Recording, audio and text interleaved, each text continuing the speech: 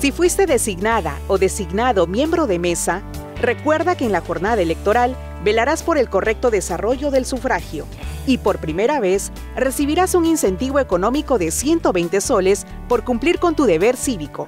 No olvides, el Perú cuenta con tu participación. Todos y todas haremos que las elecciones sean un éxito. OMPE, seguridad y confianza.